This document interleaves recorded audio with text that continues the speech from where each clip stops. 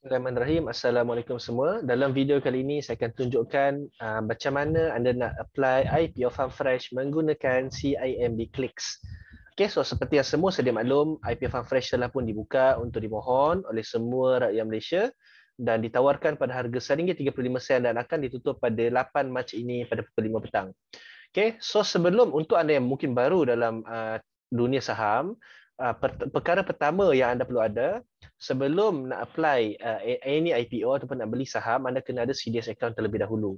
Dan ada macam-macam jenis CDS account. Kalau anda belum ada CDS account, anda boleh PM admin di Telegram Trader Jalanan Support ataupun t.me slash Trader Jalanan Support dan admin akan bantu anda untuk apply CDS account.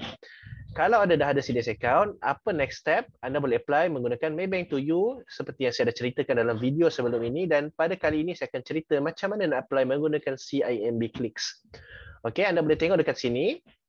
Selepas anda dah log in dalam CIMB Clicks anda, anda pergi ke dalam uh, column ataupun section, sorry, apply dan invest. Okey, kemudian anda pergi ke bawah dan tengok dekat bahagian investment dan klik pada e-IPO.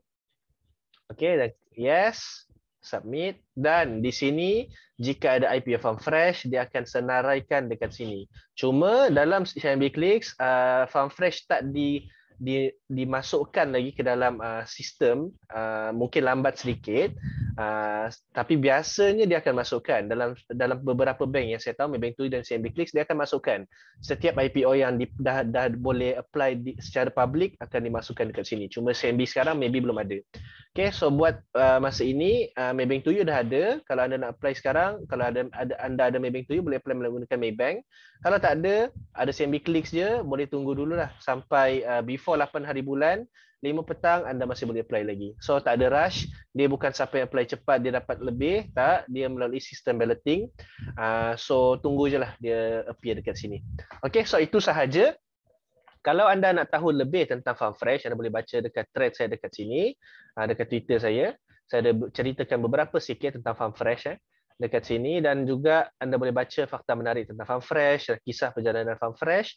Dan kalau anda nak baca, kaji betul-betul IPO ah, Farm Fresh ni sebelum anda beli, which saya sangat sarankan, jangan main beli sahaja.